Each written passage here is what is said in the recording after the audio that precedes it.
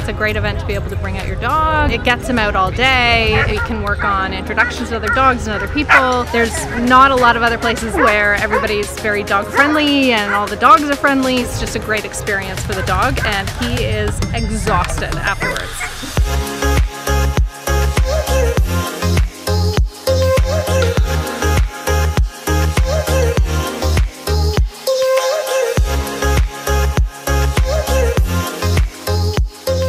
Dock jumping is such an incredible sport and it's something that's pretty easy and it's not very high impact on the dog and it's lots of fun for people that haven't even done it before.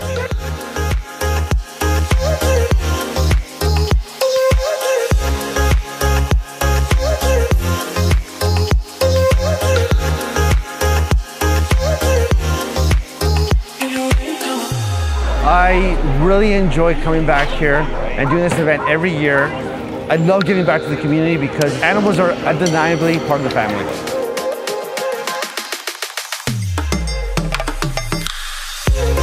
Socialization is, is a big part of her upbringing, or training. Bringing her here with all the different types of dogs is fantastic. And we had her actually on a little bit of a chase line there as well. And she had a really, really good good run. I know there's an off, off leash area. She loves playing with the other dogs. It's uh, fantastic. We'll, we'll definitely be back year on year.